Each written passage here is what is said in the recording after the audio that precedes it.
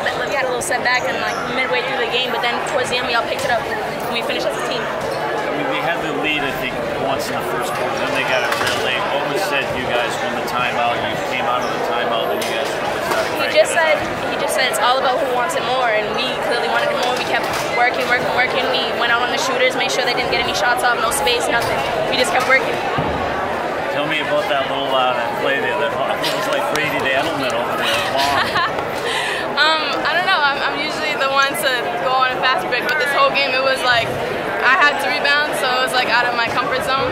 So just the fact that I like went back to my comfort zone, I don't know. I felt like Yeah, did I feel like I, was, I could be able to close out the game for us, you know.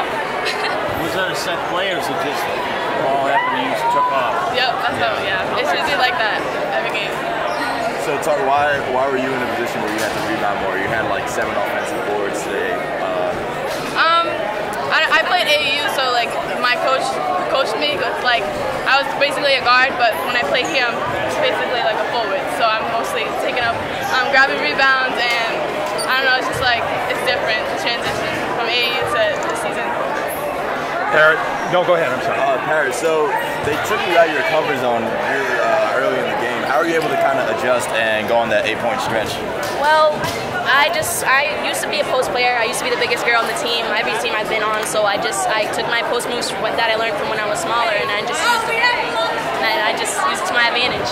And what what what's it like come uh, winning a game like this? It was really back and forth the whole time. Well, this is our first home playoff game, and my coach said was 13 years. So to have this win and to have everybody here to see it is just great. It was a nail biter, so that's probably Yes. going to help you guys moving forward. What, what, what were you guys thinking when you when you went down in the fourth quarter late? Of course, then you were talking about the post plays that you had four big points coming down the stretch. I just said it's time to work. Like big time players make big time shots. That's what everybody always tells me. So I just kept working. Same with her. Yeah.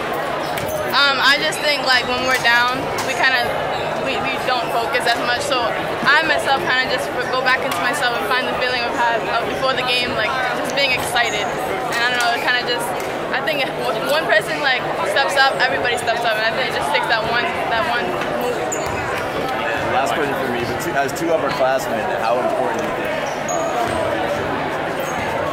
Well, she's a senior. I'm a Yeah, junior. yeah, but senior meaning like older. yeah. Well, um, I just, it plays a, a big big role. yeah. But honestly, I, I, I, don't look at it like that. I look at it as everyone's a leader itself. Like I said, one person steps up, everyone else steps up. So if, if, if our point guard doesn't step up, I'm sure one of us or any other player can step up. And then everyone will exactly.